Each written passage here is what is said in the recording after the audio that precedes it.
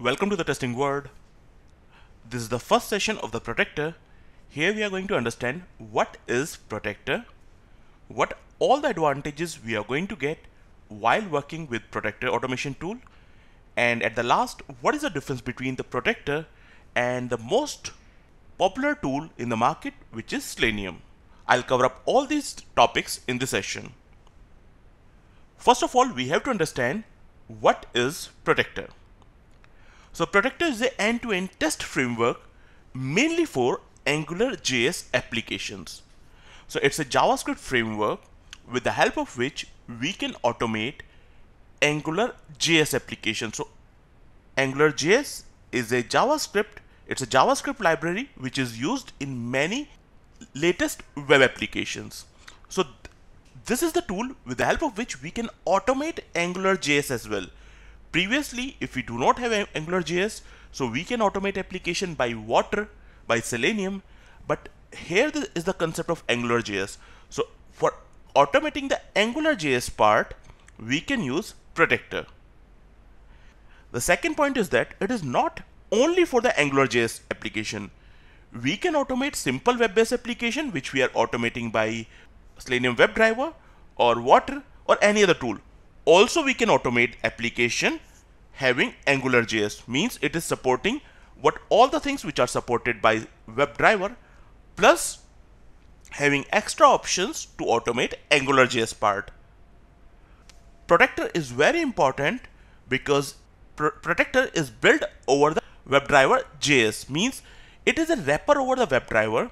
So here it is taking the advantage of the WebDriver. Means all the functionalities which are available in the WebDriver it is taking the advantage of that. Also it can easily integrate with the Jasmine which is a BDD automation framework in JavaScript plus we can integrate it with with many other frameworks like Mocha etc. So that is going to be advantage for us when we are working on a different application we can integrate different JavaScript framework as per the requirement. As we have covered, Protractor is a wrapper over the WebDriver JS, so it is taking the advantage of all the things that is done by the WebDriver will be done here in the Protractor. So just to summarize here, Protractor is not just only for the AngularJS application. It can automate a simple web-based application that we are automating by using WebDriver. Plus, we can also automate AngularJS section or I'll say Angular JS applications. Next, we need to understand this diagram. Here, that's a overall diagram of the protractor. Here, that's my protractor, which can easily integrate either with the Cucumber, Jasmine, Mocha, or any other JavaScript framework. This protractor is a wrapper over the WebDriver. So internally, for working, protractor is using WebDriver JS if you are aware about the WebDriver, so WebDriver is integrating with the browser through the Chrome driver and that's a plugin we need to set in case of WebDriver. So it's so this is the very common functionality if anybody work on a WebDriver in Selenium, so he or she will, will be aware about that. My WebDriver is integrating with the browser through the Chrome driver exe or maybe Firefox driver exe.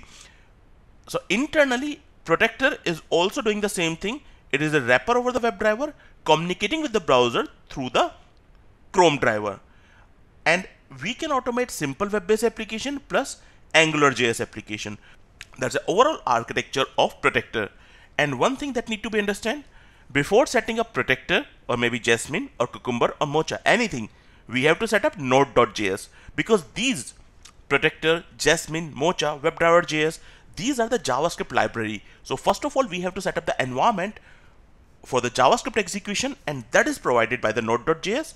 There we have to install like Jasmine, Protractor, Mocha, Cucumber. These are the libraries we can install only after node.js. And this protractor is internally using WebDriver.js, which is communicating with the browser through the Chrome driver. Or I'll say Firefox driver. It could be any driver, which is automating simple web-based application plus Angular.js application. So that's the overall architecture of protractor, how the protractor is working with the different components. Now, next topic is what is the advantage of the protractor? Why we are using protractor? So few advantages like first advantage we have seen it can support the simple web-based application also it support Angular JS application. So I'm explaining here second point, which is support simple web-based application plus Angular JS application. First is no need to add waits. It automatically wait for the page to be loaded before moving to the next step. So here in the protractor, we are not going to get synchronization issue.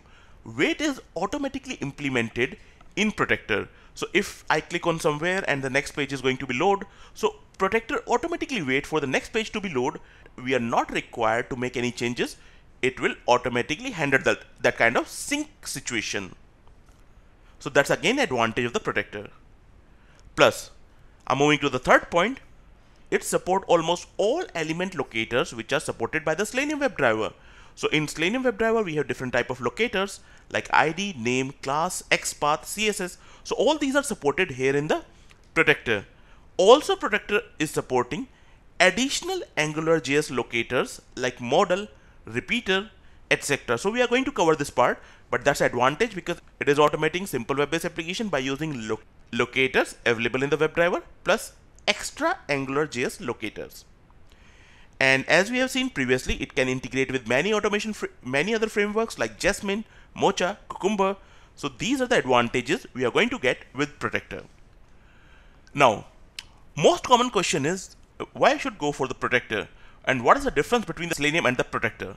So as we have previously seen, Protractor is nothing but a wrapper over the WebDriver. So internally it is also using WebDriver, which is Selenium WebDriver. So Protractor is inheriting Selenium functionalities or I'll say WebDriver functionalities. Why? Because it's a wrapper over it. So whatever the functionality is available in the WebDriver, that will be used by the Protractor.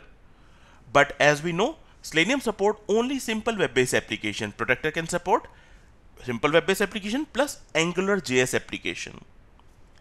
In previous slide, we have also seen it is providing extra support of element locators like repeater, model, which is for the Angular JS. And even Selenium WebDriver can also be integrated with the many additional framework like Cucumber and all, but here Protractor is giving the direct integration or I'll say very easy integration with the different JavaScript frameworks like Mocha, Cucumber, apart from it Jasmine. So these are the additional advantages we are going to get with the Protractor. So still if I compare Selenium and the Protractor, so whenever we want to automate a simple web-based application without any AngularJS, you can go for Selenium because Selenium is supporting many other programming languages. If you are not aware about the JavaScript, you can go for the C Sharp because you are working on a Selenium WebDriver which is supporting C Sharp, which is supporting Java, which is supporting Python. But if you are going for the protractor, it's mandatory for you to write code in JavaScript. So that's one difference I would say. If you are going for simple web-based application, go for Selenium. If you are working on automation of the AngularJS application, then you have the choice of protractor only. That's one. And here, as we have seen here, protractor is completely working over the Node.js environment. So we have to set up Node.js, which is going to provide us environment, and then we can go for the protractor and any other frameworks. So I'll show you how we can set up all these things. But here you need to understand if you are working on a protractor, programming language which we are going to use would be JavaScript. So that's all we have for the session. Here we have covered what is protractor, advantage of the protractor, and what is the difference between Selenium and protractor. Thanks for watching this video.